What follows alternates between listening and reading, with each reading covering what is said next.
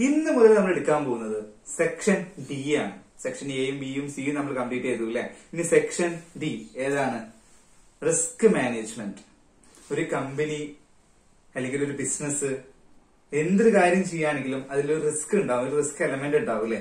നമ്മൾ പഠിച്ചുകൊണ്ടിരിക്കുന്ന ഒരു ബിസിനസിനെ കുറിച്ചാണ്. അപ്പൊ ഒരു ബിസിനസ് ചെയ്യുമ്പോൾ അതിൽ വരാൻ സാധ്യതയുള്ള റിസ്കുകൾ ഏതൊക്കെ? അല്ലെങ്കിൽ ഈ റിസ്കുകളെ നമുക്ക് എങ്ങനെയൊക്കെ കാറ്റഗറൈസ് ചെയ്യാൻ പറ്റും? അല്ലെങ്കിൽ ഈ റിസ്കിനെ നമുക്ക് എങ്ങനെ മാനേജ് ചെയ്യാൻ പറ്റും? എന്നിങ്ങനെയുള്ള കാര്യങ്ങളാണ് ഇന്ന് നമ്മൾ ഈ ചാപ്റ്ററിൽ പഠിക്കാൻ പോകുന്നത്. ഇന്ന് കംപ്ലീറ്റ് ആയിട്ട് പഠിക്കൂല. എന്തായാലും റിസ്ക് മാനേജ്മെന്റ് എന്ന് പറയുന്ന നമ്മുടെ സെക്ഷൻ ഡിയിൽ നമുക്ക് ഡിസ്കസ് ചെയ്യാനുള്ള ഇങ്ങനെയുള്ള കാര്യങ്ങളാണ്. അപ്പോ ഒരു റിസ്ക് നമുക്ക് എന്ത് ചെയ്യേണ്ടി വരും? അതിനെ കുറിച്ച് പഠിക്കേണ്ടി വരും. ആക്സസ് ചെയ്യേണ്ടി വരും. സ്റ്റഡി നടത്തേണ്ടി വരും.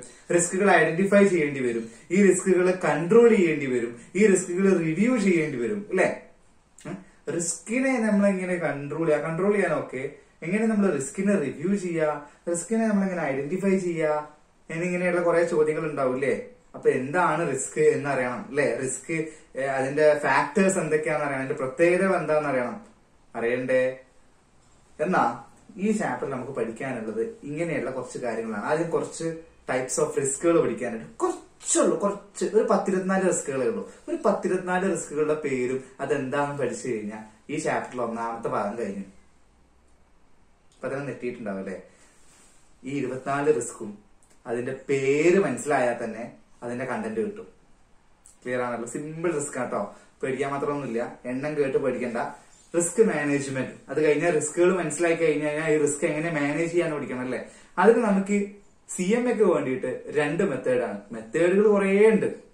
രണ്ട് മെത്തേഡാണ് ഒന്ന് ട്രഡീഷണൽ മെത്തേഡും രണ്ട് നമ്മുടെ enterprise E R M method എന്ന് പറയും. എന്റർപ്രൈസ് റിസ്ക് മാനേജ്മെന്റ് അത് കഴിഞ്ഞാൽ ഈ എന്റർപ്രൈസ് റിസ്ക് മാനേജ്മെന്റിന്റെ ഫ്രെയിം വർക്ക് ഉണ്ട്. അതിനെ കുറിച്ച് പഠിക്കണം. അത് കഴിഞ്ഞാൽ last risk measurement in bank ബാങ്കിൽ എടുക്കുന്ന റിസ്ക് മെഷർമെന്റിനെ കുറിച്ച് ഡീറ്റെയിൽ ആയിട്ടൊന്ന് സ്റ്റഡി ചെയ്യാനുണ്ട്. അപ്പൊ ഇത്രയും കാര്യങ്ങളെ ചെറിയ സെക്ഷനാണ് സെക്ഷൻ ഡി എന്ന് പറയുന്നത്. ആ ടൈപ്സ് ഓഫ് റിസ്ക് ഒന്ന് കഴിഞ്ഞാൽ തന്നെ പിന്നെ അങ്ങോട്ട് സ്പീഡായിട്ട് പോവാം. ക്ലിയർ ആണല്ലോ?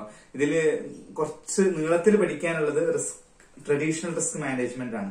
നീളേ ഉള്ളൂ ബുദ്ധിമുട്ടില്ല അത് മനസ്സിലാക്കാം. നീളം കൂടുമ്പോൾ ബുദ്ധിമുട്ടുണ്ട് എന്ന് എവിടെയും പറഞ്ഞിട്ടില്ല കേട്ടോ ഓക്കെ അപ്പൊ ഇതൊക്കെ പഠിക്കുന്നതിന് മുന്നേ റിസ്ക് എന്താണെന്ന് അറിയണ്ടേ? എന്താ റിസ്ക് അത് നമുക്ക് ഇന്ന് ഡിസ്കസ് ചെയ്യാം. ഓക്കെ അല്ലേ എന്താ റിസ്ക്? റിസ്ക് എന്ന് പറഞ്ഞു കഴിഞ്ഞാൽ? എന്താ റിസ്ക്? നിങ്ങളൊന്ന് പറഞ്ഞേ. എന്തൊരു കാര്യം ചെയ്യാൻ ഇപ്പൊ ഉദാഹരണം പറയുകയാണെങ്കിൽ നമ്മളൊരു ബൈക്ക് വാങ്ങുകയാണെങ്കിൽ ആ ബൈക്ക് വാങ്ങുമ്പോൾ ഒരു റിസ്ക് ഇല്ലേ? എന്താ റിസ്ക്? ആ ബൈക്ക് വാങ്ങുമ്പോൾ അപകടം പറ്റാം എന്നൊരു റിസ്ക് ഇല്ലേ? കാറ് വാങ്ങുകയാണെങ്കിൽ കാറ് തമ്മിൽ കൂട്ടിമുട്ടാം കാറ് മറിയാം. ഇതൊക്കെ ഓരോ റിസ്കുകളല്ലേ? മനസ്സിലായല്ലോ? അപ്പോ ബിസിനസിനെ സംബന്ധിച്ചിടത്തോളം എന്താ റിസ്ക്? നഷ്ടം വരുന്നതാണ്. ബിസിനസ് ബിസിനസിനെ സംബന്ധിച്ചിടത്തോളം എന്ത്? റിസ്ക് എന്ന് പറയുന്നത്. നമുക്കിതൊന്ന് വായിച്ചു നോക്കാം എന്നിട്ട് ഞാൻ ഇങ്ങനെ എക്സ്പ്ലെയിൻ ചെയ്തു തരാം. ഓക്കെ അല്ലേ? അപ്പോ risk is defined as the level of exposure to chance of loss നഷ്ടം വരാൻ സാധ്യത. ഇതിനെയാണ് നമ്മൾ റിസ്ക് എന്ന് പറയുന്നത്. നഷ്ടത്തിലോട്ട് നമ്മൾ എത്രത്തോളം എക്സ്പോസ് ചെയ്യുന്നുണ്ട്. നമ്മൾ ബിസിനസ് ക്യാഷ് ക്യാഷൊക്കെ മുടക്കി നമ്മൾ ബിസിനസ് ചെയ്യുമ്പോൾ നമുക്കറിയാം അത് എല്ലാ കാലത്തും ഫുള്ള് ലാഭത്തിൽ ഓടിക്കൊള്ളണം എന്നില്ല ഇന്ന് നല്ല നല്ല ലാഭമാണെങ്കിൽ അടുത്ത മാസം ചിലപ്പോൾ നഷ്ടമാവാൻ സാധ്യതയുണ്ട്. അല്ലെ? കൊറോണ വന്ന സമയത്ത് നമുക്കറിയാലോ എല്ലാ മിക്ക മേഖലയിലും നഷ്ടമായിരുന്നു. അതൊക്കെ ഭയങ്കര വലിയ റിസ്കുകളാണ് അല്ലെ? അന്ന് റിസ്ക് താങ്ങി മാനേജ് ചെയ്ത് പിടിച്ചു നിന്നവരാണ് ഇന്ന് കൊറോണ കഴിഞ്ഞതിന് ശേഷം നിലനിന്ന് പോകുന്നത്. നമുക്കറിയാം എത്രയോളം കമ്പനികളെ കൊറോണയുടെ സമയത്ത് പൂട്ടിപ്പോയിക്കണ്. ആ റിസ്ക് മാനേജ് ചെയ്യേണ്ട രീതിയിൽ മാനേജ് ചെയ്യാൻ പറ്റാത്തതുകൊണ്ട് ക്ലിയർ ആണല്ലോ? ഇനി a risk and event or an action that can keep an organization from achieving its objectives. നമ്മൾ നമ്മുടെ ഏതൊരു ബിസിനസ് ആണെങ്കിലും നമ്മുടെ ഏതൊരു ഓർഗനൈസേഷൻ ആണെങ്കിലും ഇതിനൊക്കെ ഒരു എയിം ഉണ്ട് ഗോൾ ഉണ്ട് ഒബ്ജക്റ്റീവ് ഉണ്ട് അല്ലെ? ഈ റിസ്ക് എന്ന് പറയുന്നത് ഈ ഒബ്ജക്റ്റീവിൽ നിന്നും മാറ്റി നിർത്താണ് ചെയ്യാം ഉദാഹരണം പറയുകയാണെന്നുണ്ടെങ്കിൽ നമുക്ക് റിസ്ക് എടുക്കാൻ നമ്മൾ പറയില്ലേ റിസ്ക് എടുക്കാൻ തയ്യാറാണെങ്കിൽ നല്ല ലാഭം കൊയ്യാൻ പറ്റും എന്ന് പറയില്ലേ ബിസിനസ്സിലൊക്കെ അപ്പോ റിസ്ക് എടുക്കാൻ തയ്യാറാണെങ്കിൽ ലാഭം കിട്ടും. പക്ഷെ അവിടെ ആ റിസ്ക് എടുത്താലുള്ള പ്രശ്നം എന്താണ്? നമ്മൾ ആ ലാഭം കൊയ്യുന്നതിൽ നിന്ന് നമ്മളെ മാറ്റി നിർത്താൻ അവിടെ സാധ്യതയുണ്ട്. ഇല്ല അതിനൊക്കെ മറികടന്ന് മുന്നോട്ട് പോകുന്ന ആളുകൾക്ക് മാത്രമേ റിസ്ക് എക്സ്പ്ലോയിറ്റ് ചെയ്ത് നമുക്ക് ലാഭം ഉണ്ടാക്കാൻ പറ്റുള്ളൂ. ക്ലിയർ ആണല്ലോ? ഇനി in corporate finance risk is the variability of returns എന്താ ഈ വേരിയബിലിറ്റി ഓഫ് റിട്ടേൺസ് എന്ന് പറയുന്നത്? വേരിയബിലിറ്റി എന്ന് പറഞ്ഞാൽ എന്താ? വ്യതിയാനം. റിട്ടേൺസ് നമുക്ക് മാസാമാസം അല്ലെങ്കിൽ ഓരോ പ്രാവശ്യം സെയിൽ നടക്കുമ്പോഴും നമുക്ക് കിട്ടുന്ന ലാഭത്തിന് ഒരു കോൺസ് കൺസിസ്റ്റൻസി ഇല്ല. അതിങ്ങനെ മാറിക്കളിക്കാണ് ഇന്ന് കിട്ടിയ ലാഭമല്ല നാളെ കിട്ടുന്നത് നാളെ കിട്ടിയ ലാഭമല്ല പിറ്റേന്ന് കിട്ടുന്നത് ഈ മാസം കിട്ടിയ ലാഭമല്ല അടുത്ത മാസം കിട്ടുന്നത് കൂടുന്നുണ്ട് കുറയുന്നുണ്ട്. ഇതിങ്ങനെ മാറിക്കളിക്കുകയാണെങ്കിൽ നമുക്കറിയാം. വേരിയബിലിറ്റി വന്നു കഴിഞ്ഞാൽ റിസ്ക് ആണ്. നമുക്ക് ആർക്ക് പോകാൻ പറയാണ് നമ്മൾ ലോൺ എടുക്കാൻ പോവാണ്. നമ്മൾ ഒരു കോടി രൂപയുടെ ലോൺ എടുക്കുക. നമ്മൾ ബാങ്കിൽ നമ്മൾ എന്ത് വിചാരിച്ച ലോൺ എടുക്കണം? നമുക്ക് ഈ മാസം നമുക്ക് ഒരു ലക്ഷം രൂപ ലാഭം കിട്ടിയിരിക്കുന്നു അപ്പൊ ലോൺ ഓരോ മാസവും നമുക്ക് ഒരു അയ്യായിരം വെച്ചിങ്ങനെ അടക്കാം എന്ന് വിചാരിച്ച് നമ്മൾ ലോൺ എടുത്താൽ എന്താ പ്രശ്നം എന്ന് വെച്ചാൽ ഈ മാസം ഒരു ലക്ഷം കിട്ടിയെന്ന് വിചാരിച്ച് അടുത്ത മാസം ആ ഒരു ലക്ഷം കിട്ടിക്കോളണം നിർബന്ധം ഉണ്ടോ? ഇങ്ങനെ മാറി കളിക്കുന്ന കമ്പനിയാണെന്നുണ്ടെങ്കിൽ അത് കിട്ടിയില്ലെങ്കിൽ എന്താ കുഴപ്പം ആലോചിച്ച് നോക്കിയേ? ഇതിങ്ങനെ ഭയങ്കര വേരിയേഷൻ ആണെന്നുണ്ടെങ്കിൽ ഇന്ന് ഒരു ലക്ഷം കിട്ടി അടുത്ത മാസം അമ്പതിനായിരം കിട്ടിയുള്ളൂ എന്നുണ്ടെങ്കിൽ ആ അമ്പതിനായിരം മൊത്തം കൊണ്ടുപോയി ലോൺ കിടക്കേണ്ടി വരും. മൂപ്പരുടെ കയ്യിലൊന്നും ഉണ്ടാവില്ല. മനസ്സിലായല്ലോ? അത് ഭയങ്കര റിസ്ക് ആണ്. ക്ലിയർ ആണല്ലോ? അപ്പോ from those that are expected ഇനി risk implies a degree of uncertainty risk എന്ന് പറയുന്നത് അൺസെർട്ടേണിറ്റിയുടെ ഒരു ഡിഗ്രിയാണ് അളക്കാൻ ഉപയോഗിക്കുന്നതാണ് റിസ്ക് എന്താ ചെയ്യാൻ? സെർട്ടേണിറ്റി എന്ന് പറഞ്ഞു കഴിഞ്ഞാൽ അറിയാതിരിക്കുന്ന ഒരവസ്ഥ അൺനോൺ എന്നൊക്കെ പറയില്ലേ? ഇപ്പോ അൺസെർട്ടേണിറ്റി എന്ന് പറഞ്ഞു കഴിഞ്ഞാൽ അൺസെർട്ടേണിറ്റി ഇവന്റ്സ് എന്ന് പറഞ്ഞു കഴിഞ്ഞാൽ അവിടെ ഒരു അൽമറയുണ്ട്. ആ അൽമറ തുറന്നു കഴിഞ്ഞാൽ അതിന്റെ അകത്ത് എന്താ ഉള്ളത് നമുക്കറിയില്ല. ചിലപ്പോൾ അതിന്റെ അകത്ത് ക്യാഷ് ഉണ്ടാവാം ചിലപ്പോൾ ക്യാഷ് ഇല്ലാതിരിക്കാം. അപ്പൊ അത് തുറന്നു കഴിഞ്ഞാൽ ഇത് എന്താണെന്ന് അറിയാത്തൊരവസ്ഥ ഉണ്ടല്ലോ. മുൻകൂട്ടി അറിയാതെ ഇത് തന്നെയാണ് അൺസർട്ടേണിറ്റി അതിനർത്ഥം അത് റിസ്ക് ആവണം എന്നുണ്ടോ അത് നമുക്ക് ഡിസ്കസ് ചെയ്യേണ്ടത് കഴിയട്ടെ. Okay risk is measured by variability in returns നമ്മൾ പറഞ്ഞല്ലോ. Greater the potential variability of returns risk in investment നമുക്ക് നല്ല പൊട്ടൻഷ്യൽ കിട്ടാൻ സാധ്യതയുള്ള നല്ല വേരിയേഷൻ ഉള്ള ഒരു റിട്ടേൺസ് ഉള്ള ഒരു ബിസിനസ് ആണ് അല്ലെങ്കിൽ ഒരു പ്രൊജക്ട് ആണ് നമ്മൾ സെലക്ട് ചെയ്യുന്നുണ്ടെങ്കിൽ അവിടെ റിസ്ക് വളരെ കൂടുതലായിരിക്കും. നമുക്കറിയാലോ നമ്മൾ ഇതൊക്കെ പഠിച്ച കോർപ്പറേറ്റ് ഫൈനാൻസിൽ നമ്മൾ പഠിച്ചതല്ലേ? റിസ്ക് കൂടുമ്പോൾ നമുക്ക് എന്ത് കൂടണം? പ്രോഫിറ്റ് കൂടണം എന്ന് പറഞ്ഞല്ലേ അതേപോലെ തന്നെ നമ്മുടെ വേരിയബിലിറ്റി അല്ലെങ്കിൽ നമ്മുടെ റിട്ടേൺസ് ഭയങ്കര ഹൈ ആണെങ്കിൽ അവിടെ എന്ത് ഹൈ ആയിരിക്കും? റിസ്ക്കും ഹൈ ആയിരിക്കും. റിസ്ക് എടുക്കുന്നവനെ സക്സസ് ഉള്ളൂ എന്ന് കേട്ടിട്ടില്ല നിങ്ങൾ? ആ അത് തന്നെ.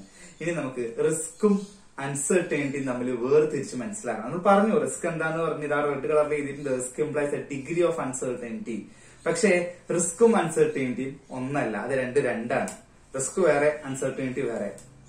അതിന്റെ വ്യത്യാസം ഞാൻ പറഞ്ഞുതരാം റിസ്ക് എന്ന് പറഞ്ഞു കഴിഞ്ഞാൽ അത് സംഭവിച്ചു കഴിഞ്ഞാൽ നമുക്ക് നഷ്ടേ വരൂ. ഉദാഹരണം പറഞ്ഞാൽ നമ്മളൊരു ബൈക്ക് വാങ്ങി. ആ ബൈക്ക് കൊണ്ടുപോയിട്ട് അപകടം പറ്റിയാൽ അതാണല്ലോ റിസ്ക് അവിടെ. അപകടം പറ്റുന്നതാണ് റിസ്ക്. അപകടം പറ്റിയാൽ നമുക്ക് നഷ്ടേ വരൂ. ആർക്കെങ്കിലും ഇവിടെ അപകടം പറ്റിയിട്ട് ലാഭം ഉണ്ടാക്കിയിട്ടുണ്ടോ? ഇൻഷുറൻസ് ഒക്കെ വിട്ട്. അതൊക്കെ വിട് അതൊക്കെ വേറെ സംഭവങ്ങൾ സാധാരണ ഒരു റിസ്ക് എന്ന് പറഞ്ഞു കഴിഞ്ഞാൽ അപകടം പറ്റിക്കഴിഞ്ഞാൽ എന്താണ്? നമുക്ക് നഷ്ടം വരും. ഉറപ്പാണ്. നമ്മുടെ കയ്യിൽ നിന്ന് ക്യാഷ് ഇറങ്ങും. ഇനി ഹെൽത്ത് ഇഷ്യൂ ആയിക്കോട്ടെ വാഹനം നന്നായിക്കാനായിക്കോട്ടെ എന്താണ് നമ്മുടെ കയ്യിൽ നിന്ന് ക്യാഷ് ഇറങ്ങും? ഇറങ്ങൂലേ? എന്തെങ്കിലും ആപത്ത് പറ്റൂലേ? മുറിയാവൂലേ? ആ അവിടെ റിസ്ക് അതിനാണ് റിസ്ക് എന്ന് പറയുന്നത്. സംഭവിച്ചു കഴിഞ്ഞാൽ ലോസ് ആയിരിക്കും. പക്ഷെ അൺസർട്ടേണിറ്റി എന്ന് പറഞ്ഞു കഴിഞ്ഞാൽ ഇത് അറിയാത്തൊരവസ്ഥയാണ്. അറിയാത്തൊരവസ്ഥ എന്ന് പറയും ഇപ്പൊ നേരത്തെ ഞാൻ പറഞ്ഞല്ലോ. ഉദാഹരണം ഒരു അൽമാര തുറന്നു കഴിഞ്ഞാൽ അതിനകത്ത് ക്യാഷ് ഉണ്ടാവുമോ ഇല്ലയോ? ഇതിന് അറിയാത്ത അവസ്ഥ പക്ഷെ അതൊരു റിസ്ക് ആണ്. അല്ലല്ലോ. അത് തുറന്നു കഴിഞ്ഞാൽ പോസിറ്റീവ് ആയിട്ടുള്ള സംഭവം നടക്കാം. നെഗറ്റീവ് ആയിട്ടുള്ള സംഭവം നടക്കാം. ചിലപ്പോ ഒന്നും നടക്കാതിരിക്കാം. അപ്പോ അത് തുറന്നു കഴിഞ്ഞാൽ ക്യാഷ് ആണെങ്കിൽ പോസിറ്റീവ് ആണ്. ഇപ്പൊ ഒരു ട്രഷർ നമുക്ക് കിട്ടി. ഒരു ട്രഷർ കിട്ടി. ഈ ട്രഷർ തുറന്നു കഴിഞ്ഞാൽ നമുക്ക് അതിന്റെ അടുത്ത് ഗോൾഡ് കോയിൻസും ക്യാഷും ആണെങ്കിൽ ഇറ്റ്സ് നമുക്ക് പോസിറ്റീവ് ആണ്. പക്ഷെ അത് തുറന്നു കഴിഞ്ഞപ്പോ അതിന്റെ അകത്ത് പാമ്പാണെങ്കിലോ? എങ്ങനെ ഉണ്ടാവും? അത് നെഗറ്റീവ് അല്ലേ? അതാണ് അൺസർട്ടിനിറ്റി എന്ന് പറഞ്ഞത്. നമുക്കറിയാം അത് തുറന്നു കഴിഞ്ഞാൽ അതിന്റെ അത് പാമ്പ് തന്നെയാണ്. നമുക്കത് ഉറപ്പാണ്. അതിന്റെ അത് പാമ്പാണ് അതിന്റെ മുകളിൽ എഴുതി വെച്ചിരുന്നു ഇനി അത് തുറക്കാൻ പോയാലോ? ഇത് അൺസർട്ടിനിറ്റി അല്ല റിസ്ക് ആണ്. അതാണ് തമ്മിൽ രണ്ടും തമ്മിലുള്ള വ്യത്യാസം. ക്ലിയർ ആണല്ലോ? ഇനി നമുക്കൊന്ന് വായിച്ചു നോക്കാം. Risk is not the same as uncertainty risk uncertainty പോലെയല്ല. Something that is uncertain is not known or it is not definite അറിയാത്തൊരു സംഭവത്തെയാണ് നമ്മൾ അൺസർട്ടൈൻ എന്ന് പറയുന്നത്. ഇനി therefore uncertainty in the context of an event that may occur means it is not known whether the event will occur സംഭവിക്കുമോ ഇല്ലയോ എന്നറിയാത്തൊരവസ്ഥയാണ് uncertainty further more the event may be positive event അതൊരു positive event ആവാം or a negative event അതൊരു negative ഇവന്റും ആവാം. Okay അല്ലേ? Uncertainty has a neutral connotation അതൊരു neutral connotation ആണ്. Uncertainty may lead to positive or negative outcomes അപ്പൊ പറഞ്ഞു തന്നെ പിന്നെയും പറഞ്ഞു ഉള്ളൂ. ക്ലിയർ ആയല്ലോ? ഇതാണ് റിസ്ക്കും അൺസർട്ടിനിറ്റിയും തമ്മിലുള്ള വ്യത്യാസം എന്ന് പറയുന്നത്. ഇനി റിസ്കിന്റെ ഒരു രണ്ട് ഫാക്ടേഴ്സിനെ കുറിച്ച് പഠിക്കാനുണ്ട്. ഇതുകൂടി പഠിച്ചു കഴിഞ്ഞാൽ ഈ വീഡിയോ കഴിഞ്ഞു കേട്ടോ റിസ്ക് എന്താണെന്നുള്ള നിങ്ങൾക്ക് കൂടുതൽ മനസ്സിലാവും. റിസ്കിന്റെ രണ്ട് ഫാക്ടേഴ്സ് എന്തൊക്കെയാണ്? ഒന്ന് വോളറ്റാലിറ്റി രണ്ട് ടൈമാണ് എന്താ വോളറ്റാലിറ്റി വോളറ്റൈൽ എന്ന് പറഞ്ഞാൽ എന്താ? വോളറ്റൈൽ എന്ന് പറഞ്ഞാൽ ഇങ്ങനെ മൂവ് ചെയ്യുന്ന മൂവബിൾ ലൈനാണ് നമ്മൾ വോളറ്റൈൽ എന്ന് പറയാ. വാട്ടർ ഒക്കെ വോളറ്റൈലാണ് ഇങ്ങനെ മൂവ് ചെയ്യും. വേറൊരു വാക്ക് പറഞ്ഞാൽ വേരിയബിലിറ്റി അത് തന്നെ. നമുക്ക് ഈ മാസം കിട്ടുന്ന ഇൻകം അല്ല അടുത്ത മാസം കിട്ടുന്നത്. ഇത് തന്നെ അല്ല അതിന്റെ പിറ്റത്തെ മാസം കിട്ടുന്നത്. ഇങ്ങനെ വളറ്റൈൽ ആണെങ്കിൽ ഞാൻ നേരത്തെ പറഞ്ഞല്ലോ റിസ്ക് കൂടി.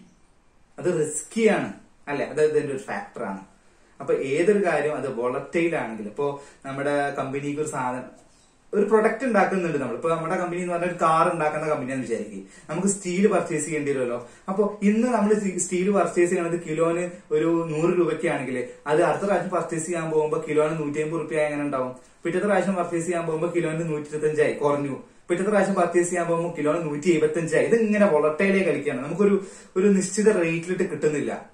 അപ്പൊ അത് നമ്മുടെ എന്തിനെ ബാധിക്കും? നമ്മൾ എസ്റ്റിമേറ്റ് ചെയ്ത് വെക്കുന്ന നമ്മൾ ബഡ്ജറ്റ് ചെയ്ത് വെക്കുന്ന പ്രോഫിറ്റിനെ അത് ബാധിക്കും. ബാധിക്കൂലേ? അപ്പൊ വോളറ്റാലിറ്റി ഒരു ഇഷ്യൂ ആണ്. അതൊരു ഫാക്ടറാണ് അല്ലെ? പിന്നെ ടൈം എങ്ങനെ ടൈം ഉദാഹരണം സിമ്പിൾ ആയിട്ട് പറഞ്ഞുതരാം. ഞാൻ ഒരാൾക്ക് കടം കൊടുക്കുകയാണ്. അയാൾ എന്നോട് പറയാണ് അടുത്ത ആഴ്ച തരാട്ടോ. ആ കുഴപ്പമൊന്നുമില്ല. കുഴപ്പമൊന്നുമില്ല. അടുത്ത ആഴ്ച അല്ല പ്രശ്നമൊന്നുമില്ല. പക്ഷേ ഇതേ ആൾ എന്നോട് പറയാണ് ഞാൻ അടുത്ത മാസം തരാട്ടോ എന്ന് പറഞ്ഞാൽ അടുത്ത ആഴ്ച തരുന്നതാണോ? അടുത്ത മാസം തരുന്നതാണോ കുറച്ചുകൂടി സേഫ് ടെൻഷൻ കുറച്ച് കൂടും. ഇനി ഇതേ ആൾ നമ്മളോട് പറയാ എന്റെ അടുത്ത് ഇപ്പൊ ക്യാഷ് ഒന്നുമില്ല. ഞാൻ ബിസിനസ് ഒക്കെ ഇറക്കുകയാണ് ഞാൻ അടുത്ത കൊല്ലം തരാട്ടോ എന്ന് പറഞ്ഞാൽ പിന്നെ നോക്കണ്ട. വളരെ വളരെ റിസ്ക് റിസ്കിയാണത് കാരണം മൂപ്പരാളെ പൈസ ഇങ്ങോട്ട് മുങ്ങാനുള്ള സാധ്യതയുണ്ട്. അതൊക്കെ പോട്ടെ. മൂപ്പരാക്ക് എന്തെങ്കിലും ആപത്ത് പറ്റിയാലോ? ആ പൈസ പോയോ? പോയില്ലേ? അപ്പൊ ഡ്യൂറേഷൻ കൂടുമ്പോ അവിടെ എന്ത് സംഭവിക്കും? റിസ്കിനുള്ള എലമെന്റ് ഭയങ്കര സാധ്യത കൂടുതലാണ്. ക്ലിയർ ആണല്ലോ. അപ്പൊ രണ്ട് ഫാക്ടേഴ്സ് ആണ് പഠിക്കാനുള്ളത്. ഒന്ന് വളറ്റാലിറ്റിയും മറ്റൊന്ന് ടൈമുമാണ് എക്സ്പ്ലനേഷൻ ഞാൻ വായിക്കുന്നില്ല. ഞാൻ പറഞ്ഞ തന്നെയാണ് ഇവിടെ ഞാൻ ടൈപ്പ് ചെയ്ത് വെച്ചിട്ടുള്ളത്. ഓക്കെ അല്ലേ? ഞാൻ പറഞ്ഞ എക്സാമ്പിൾ തന്നെയാണ്. ക്ലിയർ ആണല്ലോ? വളറ്റാലിറ്റി എന്ന് പറഞ്ഞു കഴിഞ്ഞാൽ ഒരു ഇൻകൺസിസ്റ്റൻസി ഒരു കൺസിസ്റ്റൻസി ഇല്ലാത്തൊരവസ്ഥ. ഇതിനാണ് വളറ്റാലിറ്റി എന്ന് പറയുന്നത്. ടൈം കൊണ്ട് ഉദ്ദേശിച്ചത് ഡ്യൂറേഷൻ കൂടിക്കഴിഞ്ഞാൽ അവിടെ റിസ്ക് കൂടും. ഡ്യൂറേഷൻ കുറയുമ്പോൾ അവിടെ റിസ്ക് കുറയും. അതേപോലെ വളറ്റാലിറ്റി കുറഞ്ഞു കഴിഞ്ഞാൽ അവിടെ എന്തായി ഒരു നിശ്ചിത ഒരു നമുക്കൊരു മുൻകൂട്ടി പറയാൻ പറ്റും. ഇങ്ങനെ സംഭവിക്കും എന്നുള്ളത്. അങ്ങനെ പറയാൻ പറ്റി കഴിഞ്ഞാൽ നമുക്ക് റിസ്ക് ഇല്ലല്ലോ. മുൻകൂട്ടി പറയാൻ പറ്റാത്ത അവസ്ഥയാണ് നമുക്ക് റിസ്ക് എന്ന് പറയുന്നത്. ക്ലിയർ ആണല്ലോ? അപ്പൊ റിസ്ക് എന്താന്ന് മനസ്സിലായല്ലോ? അപ്പോ നമുക്ക് അടുത്ത വീഡിയോയിൽ നമുക്ക് ഡിസ്കസ് ചെയ്യാനുള്ളത് ടൈപ്സ് ഓഫ് റിസ്കുകളാണ് ഞാൻ പറഞ്ഞല്ലോ ഒരു പത്തിരുപത്തിനാല് റിസ്കുകളെ കുറിച്ച് പഠിക്കാനുണ്ട്. പറഞ്ഞ് പേടിപ്പിക്കുകയല്ല. സിമ്പിൾ ആണ്. അത് ക്ലാസ് കേട്ട് കഴിഞ്ഞാൽ മനസ്സിലാവും. ഒരു ഇരുപത്തിനാല് റിസ്കുകളെ കുറിച്ച് പഠിക്കാനുണ്ട്. ആ റിസ്കുകളെ കുറിച്ച് പഠിച്ചു കഴിഞ്ഞാൽ ആ റിസ്ക് എങ്ങനെ മാനേജ് ചെയ്യാന്ന് പഠിക്കാം അതിനെ കുറിച്ച് പഠിച്ചു കഴിഞ്ഞാൽ അതിന്റെ ബാങ്കുകളെ എങ്ങനെയാണ് റിസ്ക് മാനേജ് ചെയ്യാൻ പഠിക്കണം. ഇത്രയും കാര്യങ്ങൾ പഠിച്ചു കഴിഞ്ഞാൽ നമ്മുടെ ഈ ചാപ്റ്റർ അങ്ങ് തീരും. ഓക്കെ അല്ലേ? അപ്പോൾ ഈ ഞാനിപ്പോ പഠിപ്പിച്ച് വെച്ചിട്ട് കുറച്ച് ക്വസ്റ്റ്യൻസ് ഒക്കെ ചെയ്യാൻ പറ്റും. ഇതിലുള്ള ക്വസ്റ്റ്യൻസ് നിങ്ങളുടെ പി ഡി എഫിൽ ഉണ്ടാവും ഹോക്കിന്റെ പി ഡി എഫിൽ ഇതിലൊക്കെ ഈ പഠിപ്പിച്ച കാര്യങ്ങൾ വെച്ചിട്ടുള്ള ക്വസ്റ്റ്യൻസ് ഉണ്ട്. കുറച്ചും കൂടി നല്ലത് അടുത്ത വീഡിയോ കൂടി കണ്ടതിന് ശേഷം നിങ്ങൾ ക്വസ്റ്റ്യൻ ചെയ്യുന്നതാവും. ഓക്കെ അല്ലേ? അപ്പൊ നമുക്ക് അടുത്ത വീഡിയോയിൽ കാണാം. ബൈ